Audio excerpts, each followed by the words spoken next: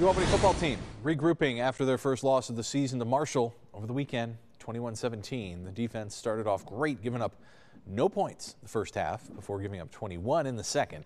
Despite the loss, head coach Greg Gattuso says he has liked what he has seen so far from his team.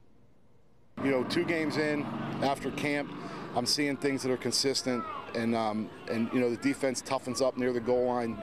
We stopped them a couple times. You know, we we on a fourth and ten, two fourth and ones, we stopped them. Uh, we blocked a kick. So I was happy overall with with our performance, and I think that good teams play that way. No turnovers, win the turnover battle. So it was a good night. Great Danes will head to Hawaii this Saturday for one of the longest trips of the season, I'd say so, uh, by any team in college football, by the way. Fun trip, though, huh?